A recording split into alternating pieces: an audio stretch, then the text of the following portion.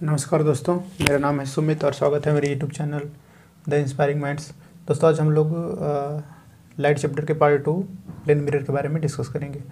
तो plane mirror के बारे में पहले हम उसका डिफिनेशन देखेंगे, फिर उसके बाद देखेंगे formation of image by a plane mirror ठीक है? प्लेन मिरर के द्वारा इमेज का फॉर्मेशन कैसे होता है, ठीक है? उसकी प्रॉपर्टीज़ देखेंगे तो आइए वन बाई वन हम लोग देखते हैं। प्लेन मिरर क्या होता है? A plane mirror is a piece of glass उस one side is polished by a using a silver paint ठीक है? प्लेन मिरर क्या होता है? ग्लास का बना होता है, जिस, जो कि, जिसका एक साइड क्या होता है पॉलिश होता है सिल्वर पेंट से या तो कोई पेंट होता है, ठीक है? फॉर्मेशन ऑफ़ इमेज कैसे होता है? The light rays from the object spread out hit the mirror and then reflect they seem to have come from a point behind the mirror this is the image of the object ठीक है? This is the image of the object image is denoted by I मतलब क्या होता है कि जब light किसी किसी सोर्स से निकलती है तो किसी एक किसी मिरर पे जा कर के स्ट्राइक होती है और मिरर पे स्ट्राइक होकर क्या करती है? रिफ्लेक्ट होती है। लेकिन रिफ्लेक्ट होने के बाद क्या होता है कि जब ये लाइट क्या हुई इससे जा कर के रिफ्लेक्ट हो गई तो, तो दूसरी साइड में क्या होती है? ये लाइट एपियर्स टू मीट होती है। ठीक है? The light rays from an object hit the mirror of the reflection. They appears to meet at image is seen at eye. ठीक है, यहाँ पे अगर ऑब्जेक्ट है, ये आपका ऑब्जेक्ट है और यहाँ पे इमेज है तो ये क्या कर रहे हैं? यहाँ से एपियर्स टू मीट हो रहा है। ठीक है ना? यहाँ पे इसका रफ टाइप का इमेज ले लिए। ठीक है तो ये लाइन एपियर्स टू मीट और ये लाइन क्या करती है? यहाँ से स्ट्राइक करके वापस रिफ्लेक्ट हो जा रही है। ठीक है? कुछ इंपॉर्टेंट पॉइंट देखेंगे हम लोग इमेज इसके बारे में। Image is seen at I मतलब ऑब्जेक्ट यहाँ पर है तो इमेज कहाँ बन रहा है? यहाँ पे बन रहा है, ठीक है? Image is form behind the mirror जो इमेज होता है वो क्या करेगा? मिरर के बैक साइड ही बनता है, ठीक है?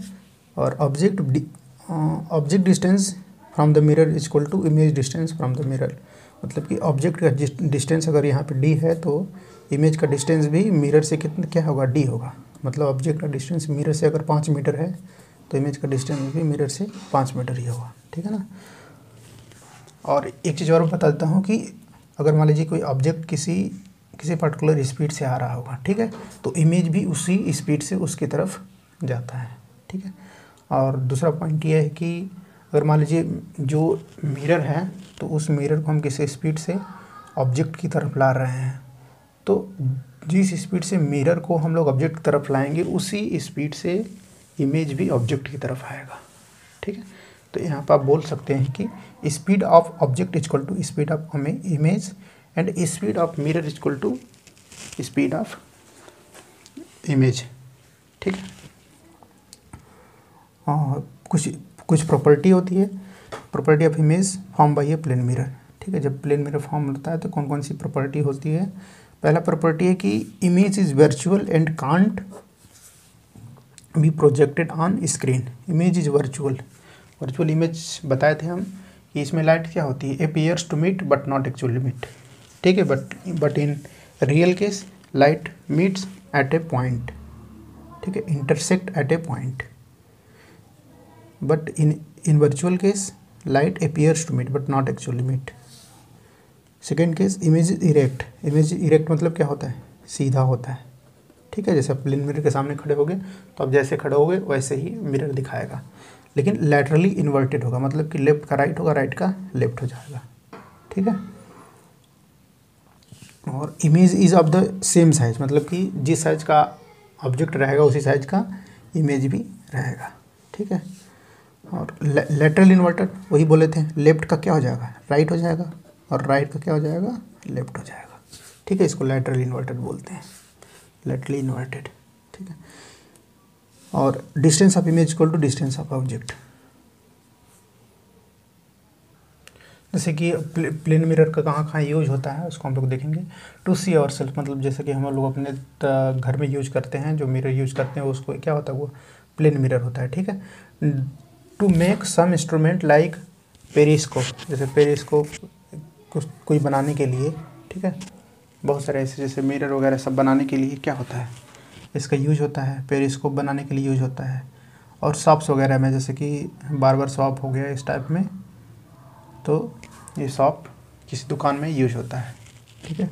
और अब हम लोग देखेंगे कि पहले तो इम, इमेज क्या होता है? इमेज इमेज की डिफिनेशन हम लोग पढ़े हैं। एक बार मैं आपको फिर से बता देता हूँ कि when when rays of light meet meet meet at a point or appears to meet at a point ठीक है? When rays of light meet at a point or appears to meet at a point ठीक है? उसको हम लोग image बोलेंगे। ठीक है? तो इमेज दो टाइप का होता है real image and virtual image तो रियल इमेज में क्या होता है?